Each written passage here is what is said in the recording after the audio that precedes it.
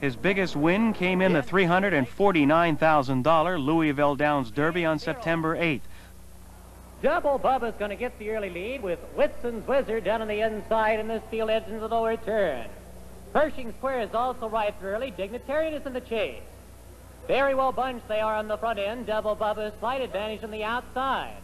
Down on the inside, Witsend's Wizard, Dignitarian, and Pershing Square. Three back motor drive is now racing fifth. Pollinator is sixth. For the back, Foot Trader is Fudgy. We're racing to the first quarter. It's going to be a fast one, and it is 28 and 1. Dignitarian now settles in on the rail with a lead of a length and a half. Double Bubba will have to settle for second at this point by two lengths. Ben Witsend's Wizard is third. Pershing Square on the inside is fourth. Motor Drive is fifth. Here they come now racing past you for the first time as they head this way. We have Dignitarian in the lead by a length and a half. Double Bubba is second, but closing ground. Here comes Witsend's Wizard on the inside. Well, then Pershing Square is going to make the move on the outside, is now gaining ground. Also Pollinator. That time on the board is 58 and 2, and they're bunching up again into the lower turn. Dignitarian is in control in this race by a length. Double Bubba is second, up on the outside. Now racing third, that is Pershing Square gaining ground.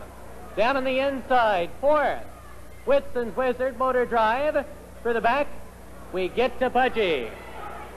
Dignitarian coming for three quarters of a mile as the leader. The time is 127 and 2. On the far turn, we have an eighth of a mile to go. With the lead, Dignitarian on top. Pershing Square on the outside is second. Funnel then Double Bubba is third in the rail. They round the turn into the stretch, nearing the finish.